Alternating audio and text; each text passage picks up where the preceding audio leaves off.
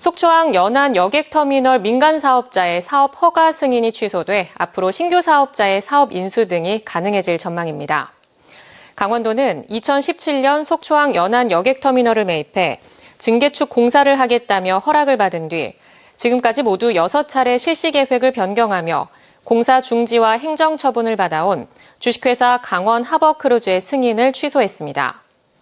강원도는 내년 1월 말까지 청문을 실시하고 내년 5월 말까지 시설물 원상 회복을 추진하는 한편 지금까지 항만시설 사용료 미납분 1억여 원을 징수할 계획입니다.